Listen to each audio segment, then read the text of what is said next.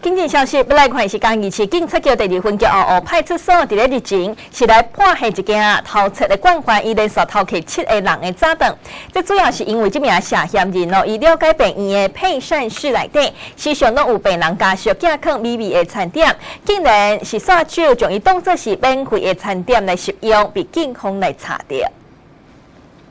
嘉义市警方表示，接获嘉义基督教病院警卫人员通报，位于疫区七八楼有真侪人的早顿无故被偷窃，请求警方协助。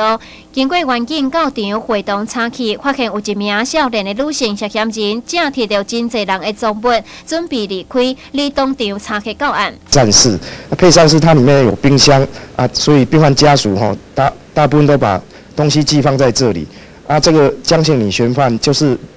就是因为这个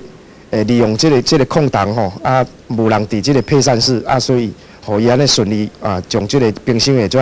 诶所加物件啦，收收刮一空，内底物件总共包啊、寿司啊、糕饼啊。馒头、寿司、咖啡、到包啊，数量真多，摆满规个桌顶。真来真领的外籍看客以及病患家属，才知影家己的早顿是安怎的背，拢感觉真好气，也真好笑。新闻新闻，蔡明东家己去采访报道。